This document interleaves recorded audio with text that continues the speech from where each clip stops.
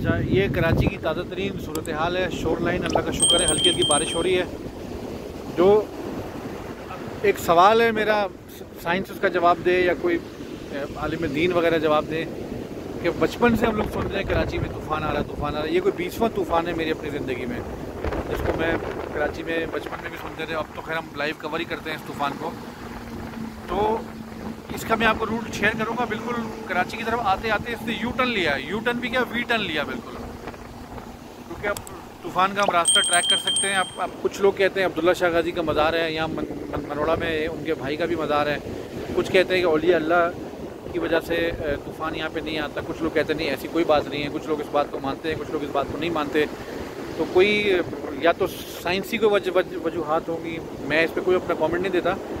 आप लोग शेयर करें, आप लोग कमेंट में बताएँ कि ये हज़रत अब्दुल्ला शाह गाज़ी के मदार की वजह से तूफ़ान हर दफ़ा टल जाता है मगर कोई तो वजह है, कोई कोई तो वजह है। या तो साइंस इसका जवाब दे, क्या वजह है? ये कोई बीसवा तूफ़ान है जो कि टल गया है। शुक्र अलहमदिल्ला शुक्र अदा करें, कराची की साहिली पट्टी महफूज रही।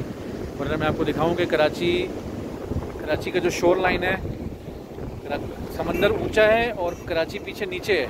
कराची, दो फुट नीचे है शोर लाइन जो है ना। अगर कभी कराची में सैलाब आया, तूफ़ान आया, बहुत बड़ा, बहुत बड़े पैमाने पर तबाही हो जाएगी। तो हम रब करीम का शुक्र अदा करते हैं और आपको लाइव मनाजर हमने दिखाए। तमाम लोगों के लिए खुशखबरी है कि ये एक दो दिन में ये बला टल जाएगी और अल्लाह ने हमें महफूज रखा।